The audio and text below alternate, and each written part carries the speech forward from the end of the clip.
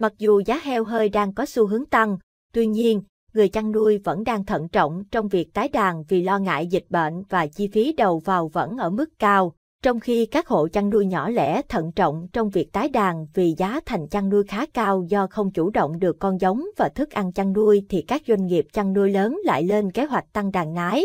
Trong đó một phần liên kết với nông dân, giá heo hơi hôm nay ngày 8 tháng 9 năm 2024, dự toán tuần sau tăng nhẹ. Tại khu vực miền Bắc, sáng nay, ngày 7 tháng 9 năm 2024, thị trường heo hơi miền Bắc ghi nhận tăng một giá ở Lào Cai và Phú Thọ, đạt lần lượt 65.000 và 66.000 đồng kg. Như vậy, khu vực miền Bắc hiện chỉ còn tỉnh Ninh Bình đang giao dịch với giá 64.000 đồng kg.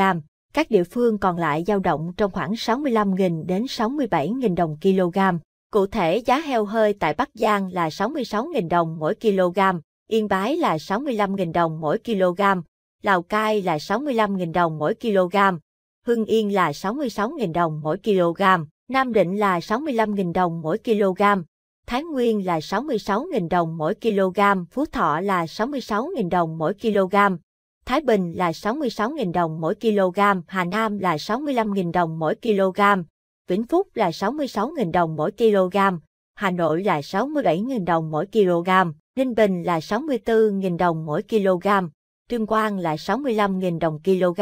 Tại khu vực miền Trung, Tây Nguyên, khu vực miền Trung, Tây Nguyên tiếp tục giữ sự ổn định. Cụ thể, giá heo tại Thanh Hóa đang được thương lái thu mua cao nhất khu vực với giá 65.000 đồng kg.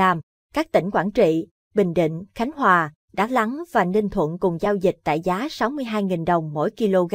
thấp nhất khu vực. Các địa phương còn lại giữ giá trong khoảng 63.000 đến 64.000 đồng kg. Cụ thể giá heo hơi tại Thanh Hóa là 65.000 đồng mỗi kg, Nghệ An là 64.000 đồng mỗi kg, Hà Tĩnh là 64.000 đồng mỗi kg, Quảng Bình là 64.000 đồng mỗi kg, Quảng Trị là 62.000 đồng mỗi kg,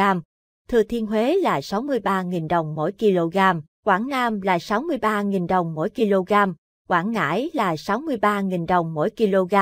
Bình Định là 62.000 đồng mỗi kg, Khánh Hòa là 62.000 đồng mỗi kg, Lâm Đồng là 63.000 đồng mỗi kg,